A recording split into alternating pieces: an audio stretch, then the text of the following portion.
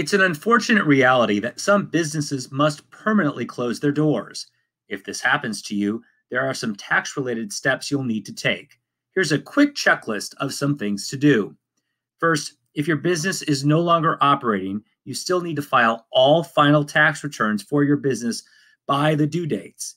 If you had employees, you must file all required employment tax returns. These include Forms 940, 941, 943, and 944.